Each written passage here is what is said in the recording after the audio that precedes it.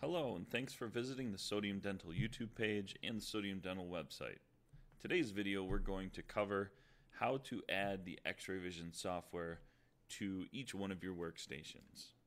The steps that we'll cover in this video today do require that you've already installed the X-Ray Vision imaging software onto a data server, and it also requires that you've shared out the data folder on your server and have also mapped that network drive onto your workstation.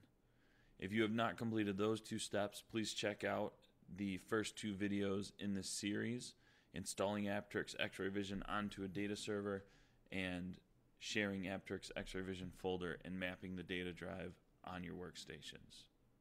To add X-Ray Vision onto your workstation, the first thing that we need to do is open up Computer. Click on the Start button click on computer and you will see here this is our list of drives. If you've already completed the steps in the first two videos, when you open up my computer you will see the Apteryx imaging folder under your network locations under my computer.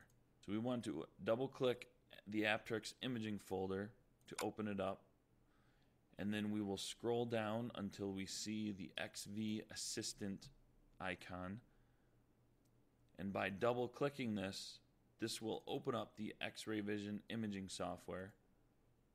Since I am using the 30 day free trial for this demo, I am going to click on I agree.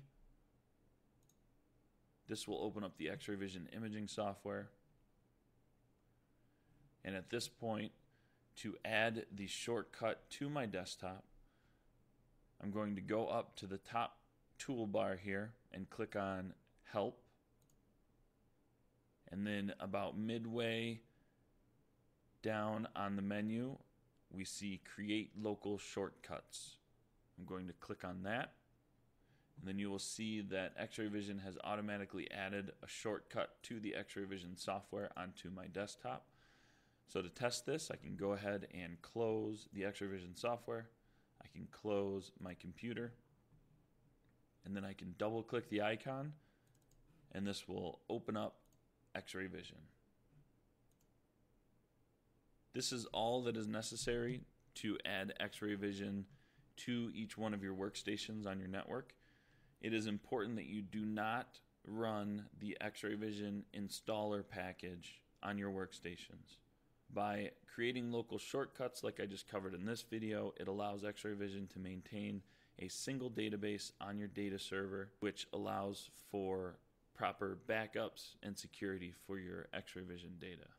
Thank you for watching and make sure to check out our next video which will be how to add name grabber to each one of your workstations so that we can get X-ray vision linked up with your practice management software.